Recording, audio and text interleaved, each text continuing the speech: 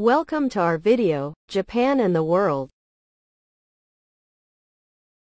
The topic for this time is, Joe Biden's Gaza port initiative can't hide U.S.-Israel discord. I would like to focus on the commentary in the national interest by Greg Priddy, a senior fellow for the Middle East at the Center for the National Interest. President Biden's initiative to have the U.S. military build a temporary port in Gaza to deliver relief supplies. Announced on March 7 during the annual State of the Union address, has the potential to eventually contribute to resolving the food shortage in the Strip but it essentially sidesteps the immediate urgency of the problem and delays the brewing confrontation between the Biden administration and the Netanyahu government over Palestinian refugees in Gaza. U.S. officials stressed that, we are not waiting on the Israelis, and in that sense, the United States is breaking with Israel by not asking permission. Yet, Another way to look at this is that it avoids the need for the United States to force Israel to allow greater volumes of aid to come into Gaza via existing border crossings. That would be a much more helpful solution given the immediacy of the need and the fact that it will take nearly two months for the temporary port to get set up and start functioning. However, Given Netanyahu's failure to respond to repeated requests from Biden for increased throughput in a manner that sustainably delivers it, this would probably require Biden to threaten some conditions on U.S. supplies to Israel, which he remains unwilling to do. The port project itself also is fraught with potential problems. The Biden administration has asserted that no U.S. military personnel will go ashore in Gaza to unload or deliver aid or to provide security. Still, their presence in waters very near the Gaza coast could put them within range of Hamas weapons. It also has been reported that U.S. contractor personnel could be involved in organizing the distribution of supplies once they reach the pier, which would require them to go ashore. The operation also would reportedly rely on Israeli forces to provide security onshore, while Palestinians would distribute the aid and move it to recipients. This raises potential problems.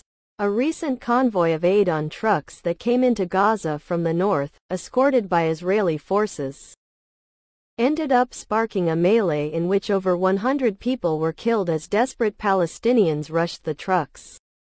Also, Given the apparent foot dragging by the Netanyahu government over facilitating increased volumes of supplies coming in by land, can we be sure Israel will facilitate increased supplies coming in? That question inevitably ties in with Netanyahu's stated desire to undertake a military offensive into Rafah, where substantial Hamas forces and probably Hamas leadership remain. He has said the offensive will go forward, even as President Biden has said that doing so without a viable plan to move the more than 1 million Palestinian refugees crammed into the city was unacceptable to the U.S. It remains highly unclear, however, whether or not the Biden administration would finally be willing to impose any substantive penalties on Israel, in terms of military supplies or otherwise, in Israel ignores U.S. concerns about the potential for a humanitarian disaster and possibly forcing refugees into Egypt as a result of a Rafah offensive.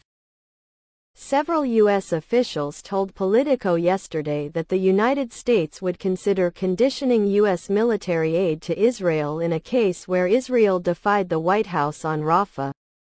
However, National Security Advisor Jake Sullivan forcefully denied yesterday morning that there were any red lines. The president didn't make any declarations or pronouncements or announcements in last weekend's interview. According to Sullivan, the pattern seems to be repeating U.S. behavior since the beginning of the Israel-Hamas war in Gaza. The Biden administration is stating concerns, making exhortations and requests, but avoiding any threats of concrete consequences if Israel ignores its wishes. In that context, the Gaza Port Initiative looks like an attempt to prevent policy differences with Israel being brought to a head. The United States is now doing something for starving Palestinians with an impact two months away.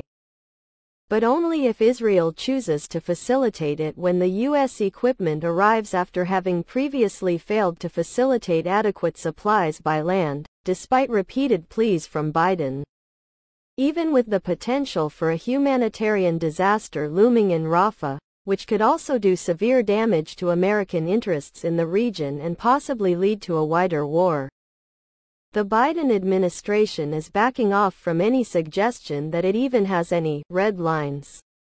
As Netanyahu observed in an infamous open microphone incident in 2001, America is something that can easily be moved. Until the Biden administration finds its spine and stops avoiding confrontation, we can expect that Netanyahu will continue to ignore the United States and our national interests. That's all. Joe Biden's Gaza port initiative can't hide U.S.-Israel discord. Commentary by Greg Priddy, a senior fellow for the Middle East at the Center for the National Interest.